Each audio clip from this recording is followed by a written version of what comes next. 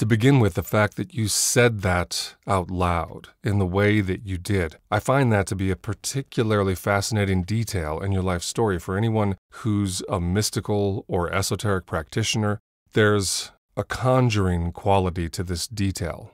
Stopping in that moment and declaring so consciously to whatever intelligence is out there that you are throwing down the gauntlet.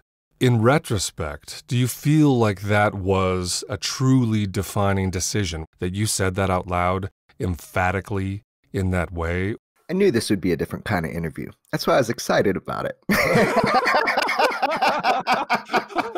oh man. So, you know, I'm going to bypass my allergy to the unknown of my own life experiences. You know, I I really do I think I'm nuts and bolts. My family thinks I'm fucking nuts. So, let's go into this.